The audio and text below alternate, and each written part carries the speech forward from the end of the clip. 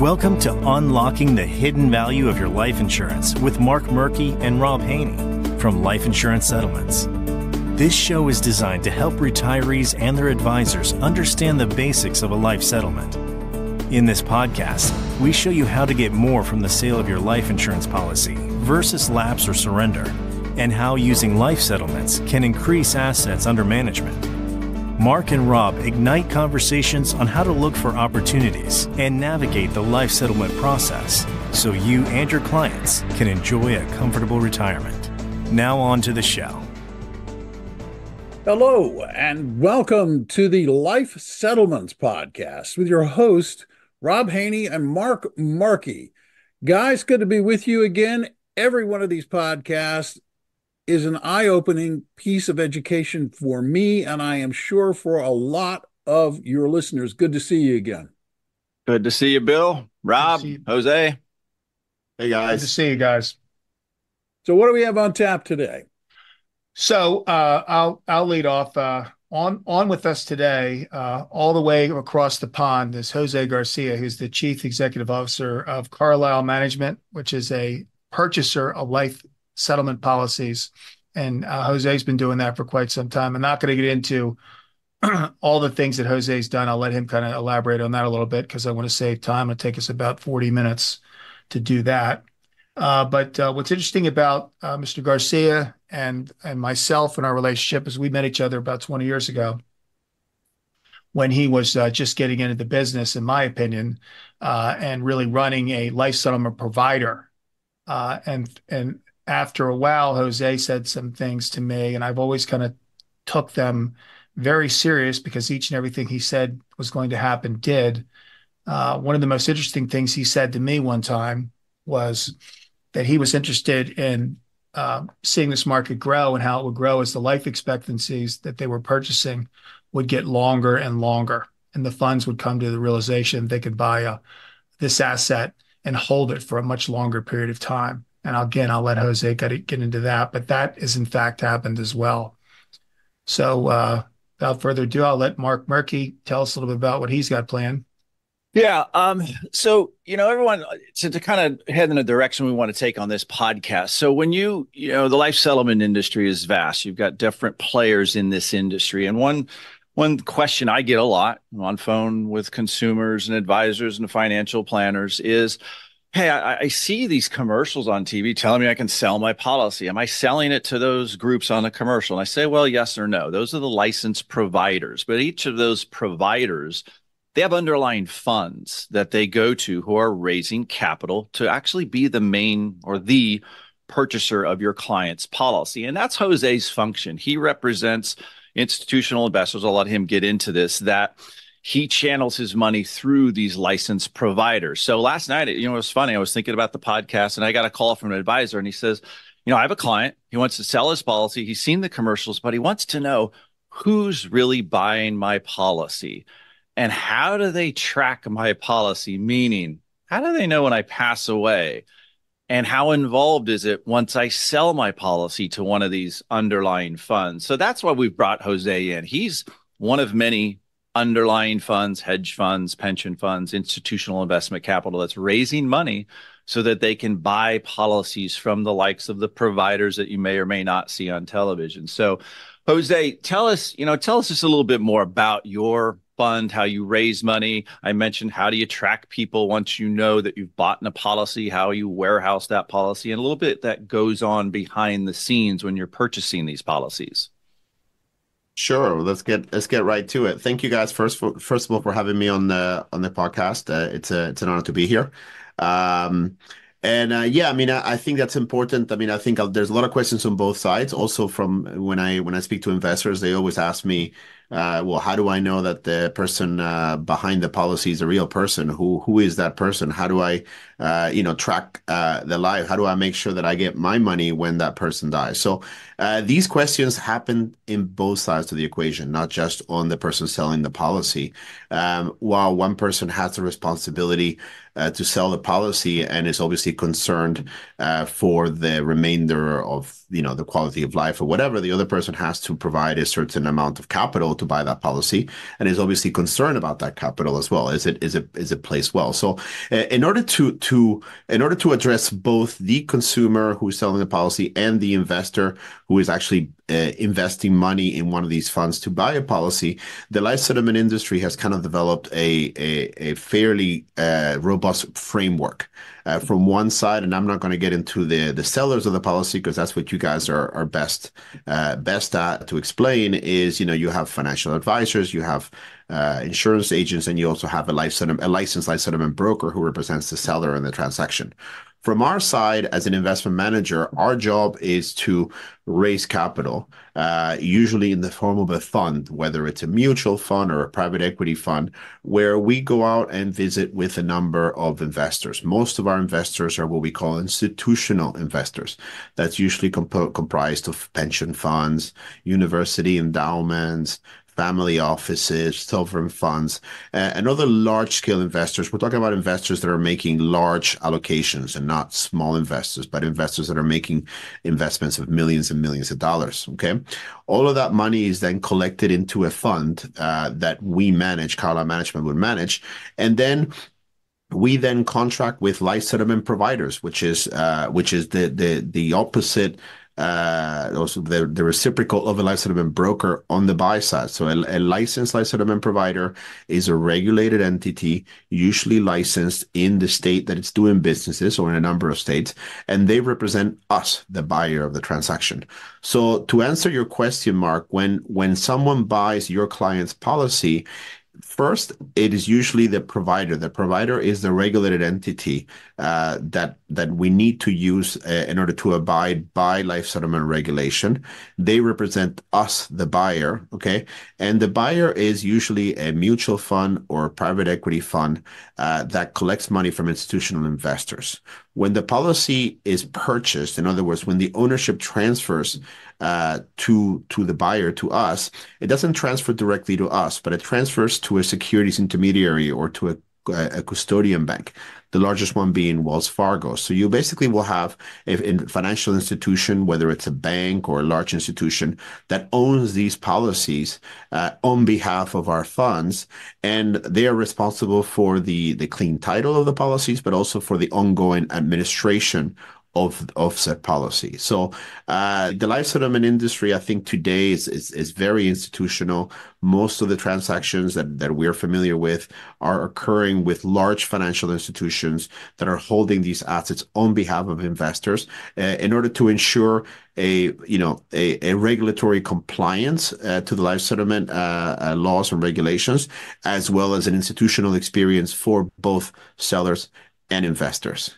Um, you know, and then just kind of like to to add to your to your last uh to your last question is, you know, how involved is it? Once uh, you know, if my dad is actually now in his late 70s and he's looking to sell some of his policies and you know he's asked me all these questions as well. And you know we've been doing this long enough that we've been asked this question once or twice. And i think it's important for your clients to know is that when you sell your policy um, you're entering into an agreement okay you are providing, you know, you're being paid a substantial amount of money for an asset that would otherwise have no liquid, no, no, no liquidity, no liquid market. Okay. Um, and we're not asking you uh, to do a lot. All we're asking is, is that, you know, if, if we're going to pay you a lot of money for your policy, you have to at least, uh, commit yourself to being tracked. Okay. We will try to make that as, uh, less invasive as possible. We're not going to call you every day. We're not going to, uh, you know, we're not going to call you every month. We're going to appoint a servicing company. A servicing company is a third party professional company who specializes and is fully regulated and licensed to do tracking. Uh, you're going to, uh, you know, have a conversation with them and commit to a form of of contact, okay? Whether that is through a phone call, whether that is through a letter, whether that is through a family contact, an attorney or a family member, uh, something that works for you. Okay. Uh, and, and then from that point forward, that's all we ask for is for you to keep in touch with us, provide us information, and we will do the rest. Our servicing companies will continue doing the rest. A lot of the tracking today is done electronically, Social Security uh, computers. Um, but it is important to know that the sellers have to abide by the contract. And the contract is we're going to buy your policy for a lot of money but then you must commit to to staying in touch with us because just like you want to collect your money when we buy the policy, our investors want to collect their money when it's time for them to. So you you touched on some great things there. I appreciate that. And and one of the things you said in the end, um, how do you know when a client does pass away? Obviously, you're not contacting clients on a monthly basis, a weekly basis, probably once a year at most. That's what I hear from most providers. Also, what I hear from most clients that hey, I might have gotten contacted one time since I sold my policy a year at most. But how do you know when a client actually passes away? I think you mentioned social security databases. Is that accurate? Yeah, I mean, there's a num there's a number of factors. Um, you know, probably the three most proficient ways for us to know is first, uh, there are electronic services that we um, that we um, uh, that we that our servicing companies that we appoint uh, have access to. These usually have to do with Social Security, obituary databases, uh, a number of other factors. Obviously, when when our servicing company, when we buy a policy, and our servicing company will have access to the person's data, social security number, address, you know, things like that. Uh, we'll go to through a database, and that you know we'll get notifications from the database if there's a match. Okay, sure. That's that's usually the first way. The second way uh, which is usually also a very very proficient way, which happens a lot. Which is a, a family member will contact us. You know, when um, when a person passes on, there's usually some kind of an executor of the will. You know, whether it's a child or a trustee or or a third party that basically is responsible for uh, notifying uh, death. You know, notifying death and and helping us file a, uh, paperwork. Um, more often than not, the life a, a, an insured had more than one life insurance policies. You know, uh, so there's a lot of collaboration we can do with the family estate. You know, we could actually you know collect uh, death certificates together. We can file claim forms together. Sometimes you uh, life insurance companies only require one form to be filed uh, or you know, uh, and and they will pay out on multiple policies. So we can definitely also even be helpful to the state, uh, to the family, uh, to uh, uh, to the insured's family by by by by assisting with those kind of administrative duties. And then last but not least, usually what will happen is if there's a form of contact that we have agreed upon, whether it's a phone call or third party contact. And we, we simply cannot get a hold of the insured. We cannot get a hold of the contact and there's no feedback. Then we'll have to do a little digging. We'll have to find, we'll have to maybe make some phone calls. We'll have to try to, you know, get more information, maybe contact uh, doctors uh, in order to do that. But that would be kind of like the last case scenario if the first two uh, are not, uh, uh, are not, uh, are not effective. Yeah, great. That's uh you backed up my answer to the call last night from my advisor that's been doing this 23 years and I'm like still okay, yeah, this is the answer. Let's make sure I'm giving the correct one, which is what you just said. And I'll back up even more to to when we we started this question about who's buying my policies. My answer is always the same to financial advisors and consumers. I say these are sophisticated institutional capital sources. This isn't. And I get this call a lot still. Our industry's 30 years old but there's still this apprehension, this fear that, hey, if I sell my policy, I'm selling it to Joey Bag of Donuts who wants me to die tomorrow, not 10 years from tomorrow. And I have to tell people that no, that's not the life settlement industry. It is a group of sophisticated investors. They warehouse these policies, and you touched on this, Jose. So I, I'm glad you you kind of brought up all of this. Uh, underlying fund information that we do. We still get this a lot because you're talking to clients that are in their 70s or in their 80s, they have family members, and these these these these questions get brought to us a lot. That boy, yeah, I, I've heard this life settlement sounds like a great idea, but boy, who am I really selling to, and what goes in, what's involved in that sale? So I think you touched on all these things. Uh, I appreciate. Yeah, I, th- I, think it's important just to re- reiterate that you know this is a sophisticated product for sophisticated investors. We don't work with retail clients. Like if somebody comes off the street and says, "I'd like to invest a hundred thousand, that the answer is no. We don't deal with those kind of clients. We deal only with institutions uh, Uh, that are making multi-million dollar allocations. They're sophisticated, uh, and you know all of the investment vehicles are usually regulated. They've got you know big four uh, auditing firms like KPMG or Deloitte actually doing work and reviewing all of the procedures, uh, and everything's done through third-party marketers. Uh, sorry, third-party service servicers um, that can actually that are actually licensed. And I think it's important for uh, sellers to know that the industry today, you know, and you said 30 years old, we've we've evolved a lot in 30 years. It's very regulated. You've got you know transactional standards. You've got regulation in most states uh, by the insurance commissions. You got you know licensing requirements for brokers, licensing requirements for for providers. Uh, in some states, you even have bonding requirements for these providers. I think these are all things that are aimed to making the transaction more safe and easier for the consumer. They're definitely not not made, you know, to they're not made to, um, you know, to to to make the transaction more easier to get to. It actually makes the transaction more complex. But I think the idea is to protect both the seller and the investor who's buying the policy. Has there and Rob, you have an answer, and then I'll let you. I'll shut up for a little while. Has there ever ever an incident of wrongdoing in the life settlement industry when a purchaser purchased a policy and then mysteriously a client passed away early? Rob, not to my knowledge.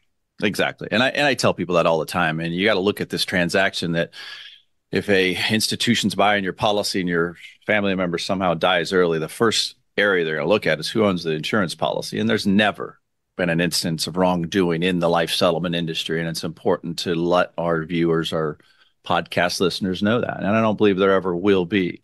Um, does that purchaser have an interest in your death? Yes. Do they think, hope maybe that you die early? Mm, I don't know. Maybe similar to an annuity, I guess. I've used that analogy before. When you buy a single premium annuity, that annuity carrier, they hope you die earlier and sooner. Well, same thing exists in our industry, but it, it's not.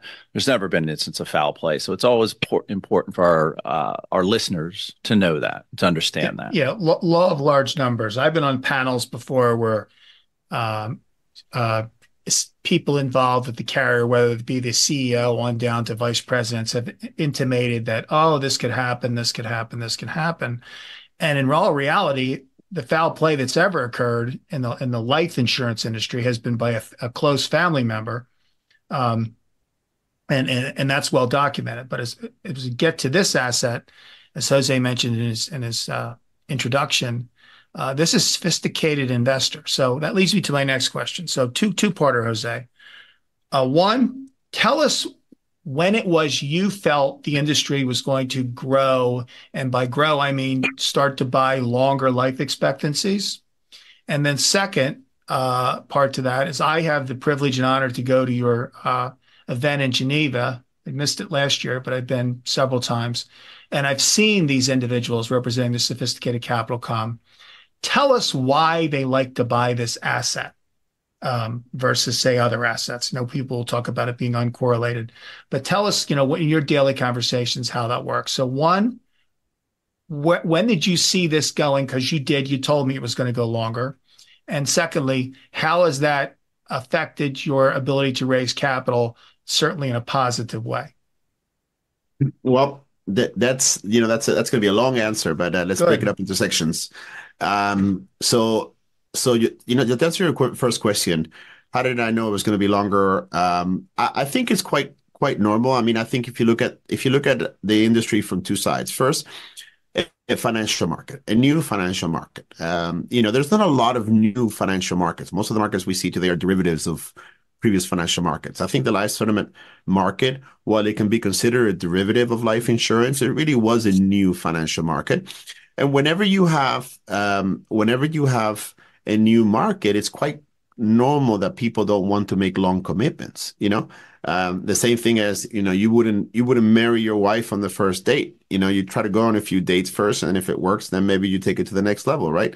Well, the same thing with any investment product, right? When you have a new product with no track record, no history, it's only normal that the only available capital that you have is short, a short term capital.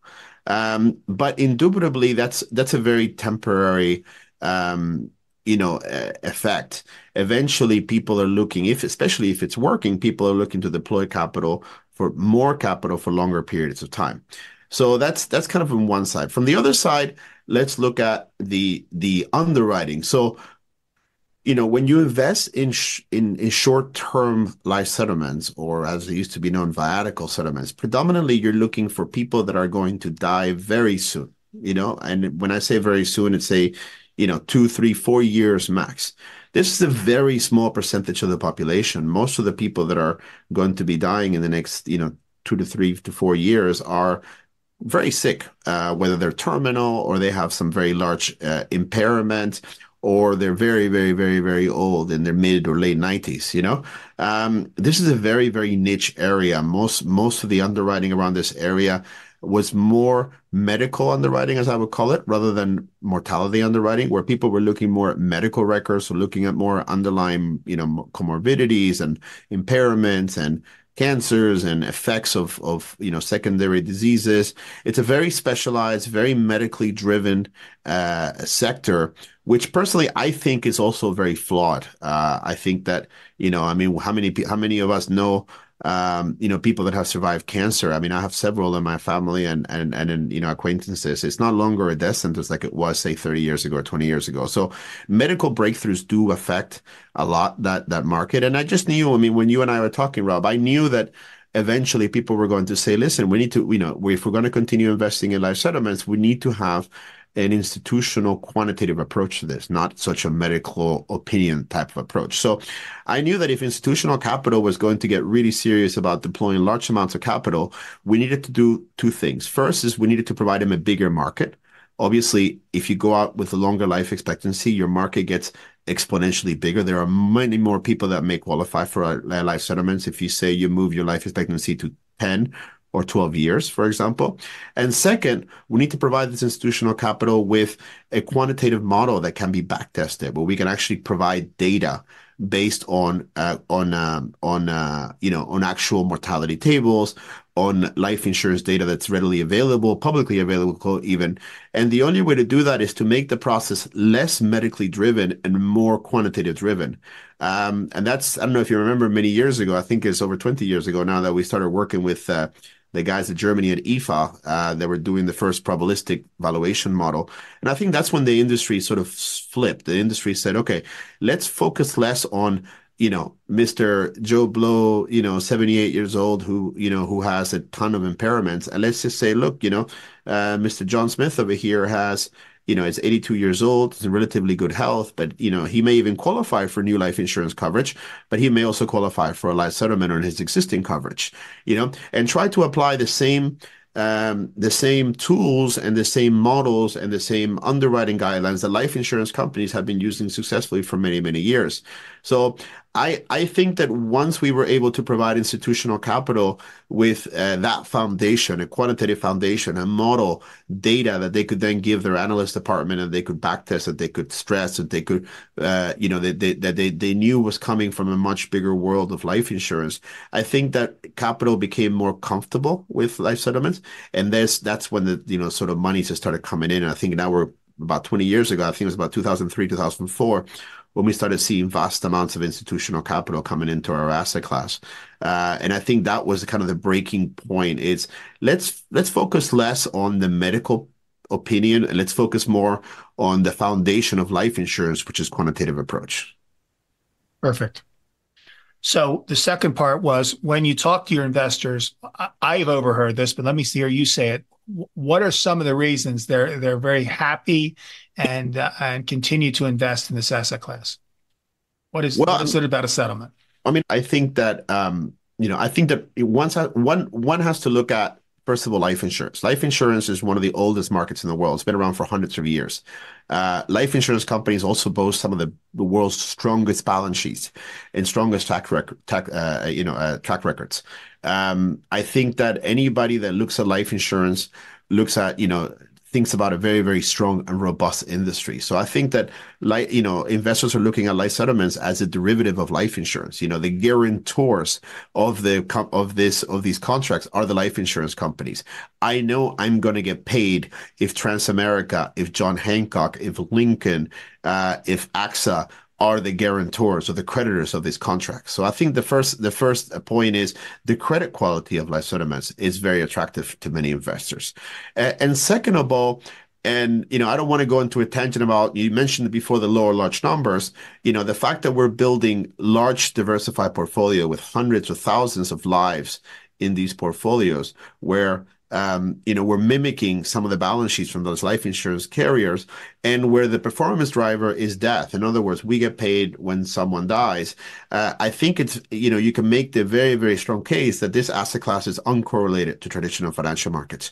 Um, we don't particularly care who is the president you know Biden or Trump or what the Federal Reserve is doing this week or what you know Venezuela is doing to oil prices or, you know, unfortunately, you know, Iran and and and, and Israel duking it out for us, these are all irrelevant. They're, they do not affect our investment performance. And I think that is one of the biggest attributes of life settlements is that investors can rest assured that their investment performance is minimally, you can never say completely, but let's just yep. say minimally correlated uh, to, to, to, you know, to geopolitical events, to economic indicators, uh, and any other financial markets. And I think these are the two factors why why investors are very attractive to life settlements, as well as a track record.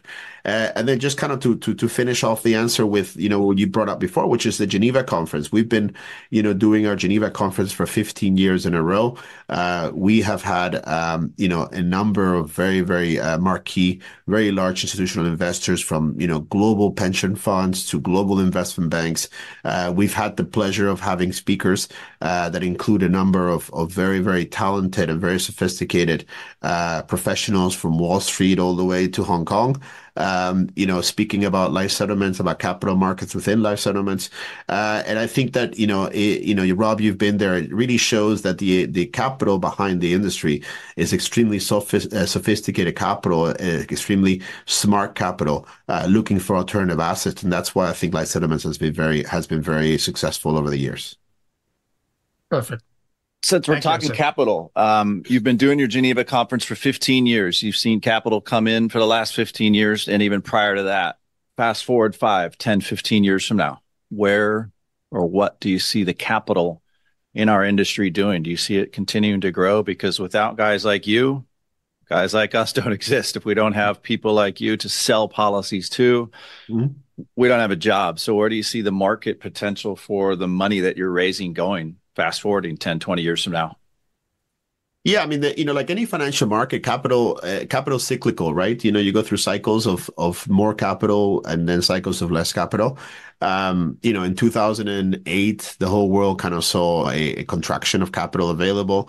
Then we had a very, very rapid growth period where capital grew very, very, very uh, fast.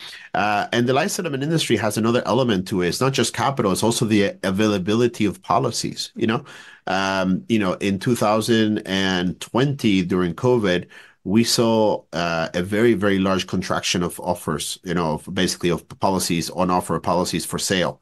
I think obviously because of COVID and mortality issues, a lot of people had a you know second thoughts about selling their life insurance policies i think it's it's quite common. So the industry went through a bit of a contraction uh, in other words transactions went down um, and then capital you know sort of found homes elsewhere. What we've seen over the last 12 months is we've seen sort of a research of policies. We've seen more policies for sale, and we're seeing capital kind of come back to the industry. So um, we see a growth pattern again, Mark. Uh, but I, I, you know, since this podcast is mostly uh, geared towards the supply side of the business, sellers, you know, um, I think it's important to know that the capital will be there so long as people are willing to sell their life insurance policies. I think that's that's that's key. Uh, nobody wants to chase a, a, difficult market where they're competing against other capital for a few policies. So I think that's important. I, I think now we're seeing um, we're seeing interesting innovations in the asset class. Um, very much like the the mortgage industry. You know, mortgage, you know, mortgage the, the mortgage companies were lending, lending, lending, but at some point they had to find avenues to unload their their product so they can keep lending, right? So I think life settlements is the same. I mean, we keep raising capital, we keep buying more policy, but if the industry continues to grow exponentially, we're probably, you know, we're starting to see things like securitizations where we can securitize assets or we can resell, we can resell policies to other investors that are not necessarily um, primary players in the asset class. Um, and you know, now you have, you know, not to mention, you know, not to mention uh, other companies in the industry, but you have companies like Abacus who have gone public. Uh, and found new ways to capitalize their their programs, which I think is very exciting as well. So uh, I think that that you know the industry is go is poised for a lot of growth. Uh, and I think that the increase in policies and policies for sale will definitely help fuel that. And I think our ability to unload or to resell blocks of policies to third parties, whether it's uh, uh, through securitizations, you know, uh, permanent capital vehicles, or simply to other investors not looking to come in and deal directly with the with the sellers or the consumers, I think will only help us to uh, increase what we call the velocity of money and in, ultimately increase the demand for life settlements. You just touched on something I want to I want to let the listeners know. Um, you touched on resale. Um, you buy a policy, Jose. Uh, typically, a group like yours maybe has a buy and hold strategy, but you also have the ability to go out and resell a portfolio of policies, much like a uh, the mortgage industry does. You sell bank loans to this bank and that bank and the other. Tell us more about how that happens in the life settlement industry, where if someone buys sells their policy to XYZ company, that it is a possibility that five years down the road it may be resold to another group like you, or you selling it to another group. Yeah, absolutely. So, so that's I mean that's that's one of the reasons why we usually work with life settlement providers Uh, when you buy when you enter into an agreement with a licensed provider, a provider is the licensed entity representing the buyer in the transaction. But that that that provider can work with multiple funding sources. So the agreements that you sign can be assigned to another party, very much like a loan. When you get a when you go out and get a mortgage, you, usually sign a form that's that you are basically allowing for the mortgage to be transferred to a third party or to another intermediary. Uh, the same thing with life settlements. So what we do is, you know, we buy policies, you know, many times one at a time directly from sellers and and you know from companies such as LIS, a life settlement broker. And then we we we basically build these large portfolios as these portfolios get built, uh, we may need to sell some of the exposure. We may have uh, maybe bought too much of a life insurance company, or we may be, you know, under diversified and need to redeploy some of the capital or hey, we may just need some liquidity because we we spent too, you know, we bought too much and we need to we need to unwind some of it so that we can continue purchasing. So there's a number of factors why we may want to sell assets. Uh, so what we do is basically we then shop those assets to other institutions, usually uh, you know very large pension funds, investment banks, private equity shops, uh, and what we do is we sell blocks. So we you know it's very unlikely that we would sell one policy, but we would sell maybe like 20, 30, 50, 100 policies. Uh, and that's done on a block basis. In other words, the insurer doesn't have to sign any new documentation. You've already signed the contracts. Basically, all we're doing is assigning the existing contracts to another party. Uh, it is always going to be covered by an institutional counterparty. There's always going to be a custody bank or or securities intermediary like Wells Fargo uh, in the transaction in order to secure the transaction. You simply may just get a letter from a different servicer saying your policy has been resold. Uh, we are now going to be responsible for the servicing agreement. Uh, therefore, you no longer need to contact company X. From here forward, we just contact us, company Y, and that's it. Very much like you know, and, and you know, in the insurance world, if you ever have a life insurance comp- uh, policy, you know, from a company that's been sold, you know, I mean, we we we you know, in our 30 years in the business, we've done that many many times. Um, you know, often you'll get a letter saying your policy has been sold, your policy will no longer be serviced by this company, you now will be serviced by that company. Uh, from from the seller's point of view, it's going to be very much the same. Great, great answer. We get that question um, from previous sellers for sure. So yeah, Rob. So we'll kind of touch a little bit on what Jose said earlier too about uh, there'll always be capital as long as there's our policies to sell. So Mark and I beat our brains out every day to try and educate the consumer about this option, to educate a licensed life insurance producer, et cetera. Uh, on Friday, I'll make a little news here.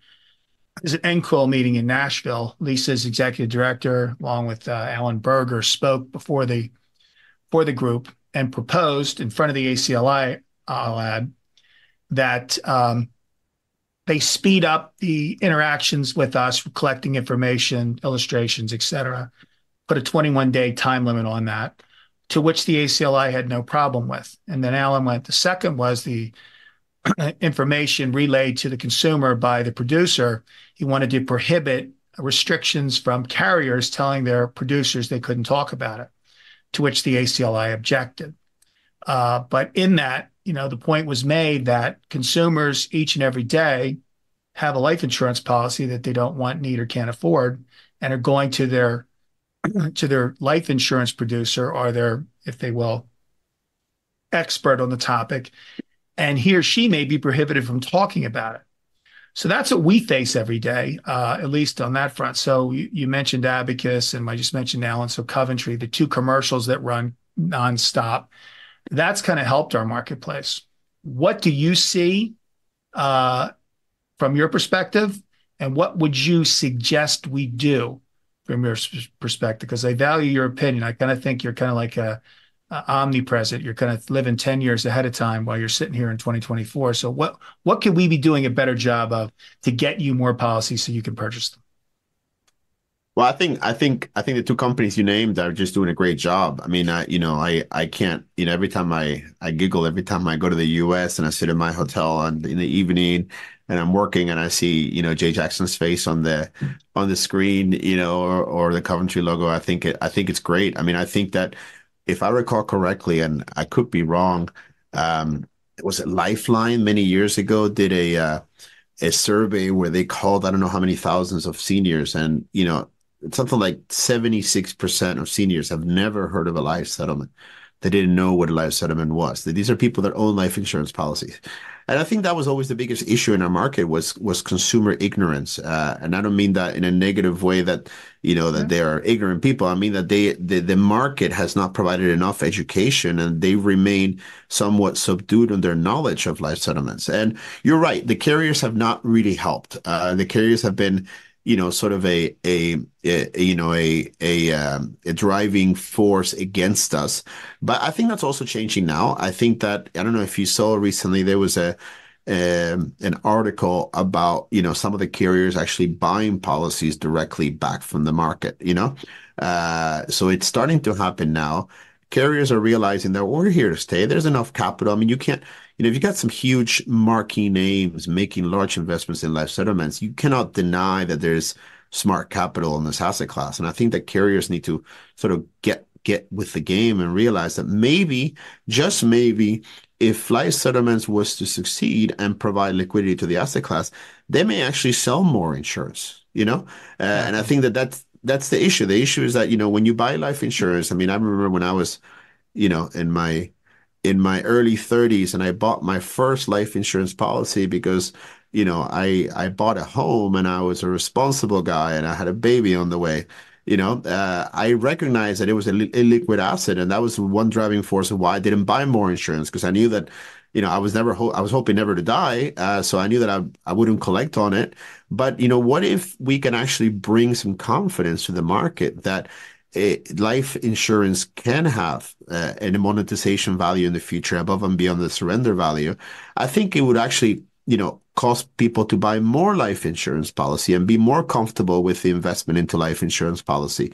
Um, and and I think that if uh, if advisors were better versed, if life insurance companies and national organizations wouldn't be so uh, objecting to to to them speaking about life settlements, I think that they wouldn't. You know, I think people still do it, but they do it kind of behind you know the scenes. They you know hush hush, and I think that causes even more problems. Let's put it on the table. Let's educate them how to do it right, how to do it compliantly, how to do it the right you know the right way. You know, and and, and helping to you know, to to to battle that that consumer ignorance that we're currently seeing. So I think all of these are great things. I think that carriers coming around and large companies making large, you know, marketing investments on television ads are definitely going to help us. And I think that the reason why you know uh, we went through a period of of sort of con- contraction was because um, you know, large institutions were unlikely to sell their life insurance portfolios because they, they they felt that they couldn't replace them from consumers directly. I think that's changing now, and I think that mo- the more the secondary market, the more the direct consumer market, um, you know, comes about, I think the the the the more uh, institutional capital is going to be confident to keep making investments into this asset class. Perfect. Do you, you see your side of the industry? You just touched on our job. You know, Rob did. You know, we this is our job to educate financial advisors. Uh, you see the television commercials, the providers educating the consumers. Do you see your side of the uh, equation, the underlying capital, the sophisticated investment capital, hedge funds, pension funds? Do you see them jumping into this pool and helping educate so they can get more policies from guys like us? Um, you know, I'll I'll I'll tell you a little bit about some of our struggles. So, um, and this is something that I've discussed with you, Rob, and I'd like to discuss at the next LISA meeting. Um, is is data, right? So most of my investors, Mark, they don't they don't want to face the consumer You know, they're institutional capital. You know, just like they don't want to be the ones facing the more, you know, the, the person taking out the mortgage or you know dealing directly with the home. They they are they they want to be removed. They want to, you know, they're making a hundred million dollar investments, you know, over thousands of lives. You know, they're not. They don't want to be part of the consumer transaction, which is why they hire guys like me and guys like Wells Fargo and providers in order to create an institutional experience. The biggest issue that we have is the lack of data. Life settlements, I mean, if you go to like, if you go to like, um, fixed income or the stock market or futures or commodities, you have you can go online. You've got thousands of pages of resources and data and reporting and what are things trading at and who's buying and who's selling and this and that. I think the life settlement industry needs to get to that step. I think we need to get to a step where, whether it's through LISA or you know, uh, Beat at AA Partners in Zurich, are you know, we're collecting data and we're providing more data. I think we, it will make it will help to make the industry more transparent. Uh, it will help for investors to get more comfortable and make larger and longer term investments. If we're you know if we're talking about making longer investments if i have more data i can probably get a 20 year investment versus a 10 year investment.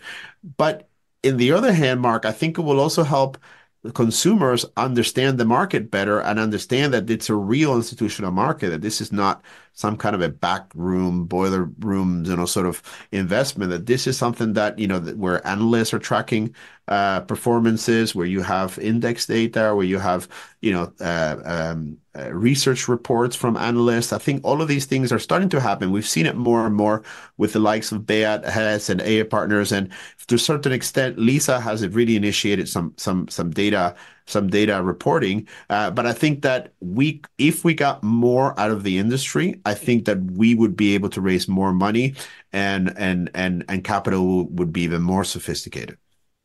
Uh, I'm going to step in here because I, I can tell you I'm equally, if not more, frustrated with the lack of data that we can present. So a couple years ago, we managed to get LISA to answer four questions. LISA provider members. Uh, on the heels of their annual reporting, they list uh, four questions about what they've bought, what was the face value, what was the surrender value, and then we could factor in a percentage over cash surrender value to somewhere equate between 7.8 and 5.2 um, times more. When we initially sent it out, it was like, I'm going to say 50 different data points. So that was a no, that was a non-starter couldn't happen. Um, so this year we're doing again. I think we've included two additional questions. I'm not exactly sure what those are at the, at the moment, but uh, and that's underway. So that's going to come out again. So that little teeny tiny subset of data that does does you no good, maybe a little bit, is going to once again show that the consumer wins when they do their when they a successful life settlement is transacted. They're going to show them how much more they receive. Um, but what it doesn't, what it fails to address is um, just how many seniors don't know uh, or have access to this program. So, for example, we we've always listed some statistics back one back about a decade. 112 billion dollars of death benefit lapses are surrendered for people over the age of 65 every year, and our industry last year bought 4.5 billion. That's on top of 112. So 112 is sitting out there in cyberspace that no one ever touches, talks to, or have access to. Yes, there's some degree of that that won't qualify for a life settlement. We agree with that. But even if our market were to double overnight, how significant would that be to someone like you, Jose? Well, I mean, that's that's all that's i mean obviously that's very important we always want to be able to explain how big is the market and the opportunity um, it is clear that the opportunity is there i mean you have I, I mean that's there's so many different data points from the, so many different things that you know nobody knows exactly which one to use. You know, I heard that people over the age of 65 have six trillion dollars in life insurance policy. You know, uh, some some of the people say two trillion, but again, there's no central reporting mechanism. If we knew exactly I mean, we don't have to. We, we're not looking to to break confidentiality on people's households and people's estates, but we.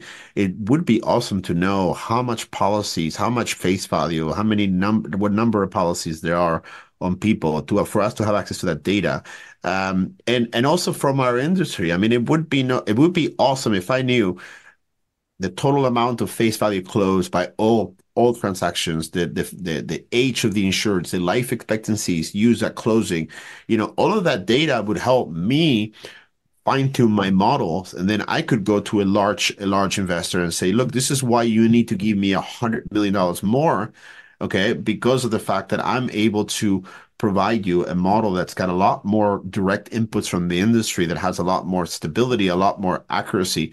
And you know, and and now now now sort of talking to the sellers, talking to your clients, the more money I raise, the more competition for your policies and the better price you will get. And I think that's that's one of the things that people need to realize. You if you help us raise money, okay, uh, if you help us, if you give us more data, more transparency, whatever we can tell, use to tell the story to our investors, we're going to raise more capital. And indubitably, that's going to increase the prices we pay for policies. Perfect answer. All good. Perfect. Wow, we, are 50 minutes into this, Bill. We still got you. You still awake over there? Oh, yeah. No, no, no. I'm still awake. In fact, I, am going to walk away from this with two words. Uh, the first one being data which is fascinating, and and and and and I can understand the need for it and and the thirst for it. The second is liquidity, and I'm fascinated by this. The the idea of selling a life insurance policy was tried. Someone tried to sell me a life insurance policy when I was like 20 years old. And I, the only thing I could see when they were trying to sell me this was, uh, it was they were trying to sell me a product that had no recognizable value unless I died, and it didn't make sense to me. You know, the idea that it's like I could buy life insurance now and potentially, if I needed to recognize a value on it before I died, this suddenly becomes a more interesting investment product.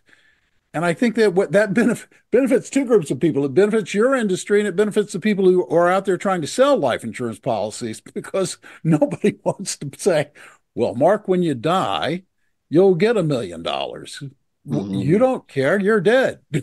so. well, it's a, it's a. I, I heard this a long time ago. I think it was John Collison said this that the best thing that that the life insurance companies or the life insurance industry did is convince people that they sold life insurance.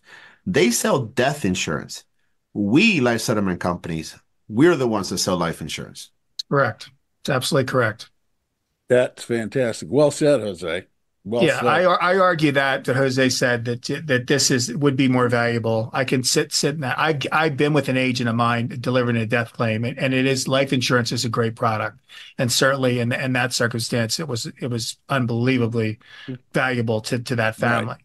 But having said that, there's also a large portion of life settlement that never sees the light of day. Never. It basically is lapsed or surrendered, and we're just trying to help those folks uh, get a little more money uh, on a life insurance policy that they paid into with their hard-earned money for a long period of time.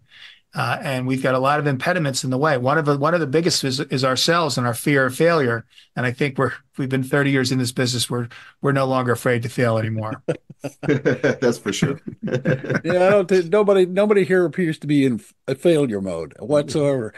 Hey, Rob, Mark, if somebody is listening to this and, and is intrigued and wants to have a further conversation, uh, what is the best way for them to reach out and get in touch with y'all? Sure, I'll go first. My name Mark Mrky. People know they can always reach me on my cell phone at 954-326-9378. And my email is markm at lisettlements.com. And Rob, follow up. Uh, Rob Haynie cell phone 954-599-4433 and my email is rob at lisettlements.com super. Fantastic. The other thing that uh, listeners can do if they're not haven't done so already is hit the follow button. That way you are then subscribed to the podcast. You don't have to worry about when or where the next episode comes out because when they drop a new episode you'll be notified and you can listen. Uh, the other thing you could do is if you find this information interesting useful, valuable, tell people about it. Let them know. Uh, it's a, it's definitely an odd topic for a lot of folks, but it's very much an intriguing topic as well. Until next time, I am the producer, Bill Tucker, thanking you for taking the time to listen today. On behalf of Rob, Mark, everybody in the life and se- life settlement industry. Thanks for taking the time to listen today. And I'm going to remind you that you can go out today and make today a great day or not. It's up to you. It's your choice. Thanks so much for listening. Until next time. Thank you for listening to Unlocking the Hidden Value of Your Life Insurance, the show that helps you unlock the hidden value of life insurance. Click the follow button to be notified when new episodes become available.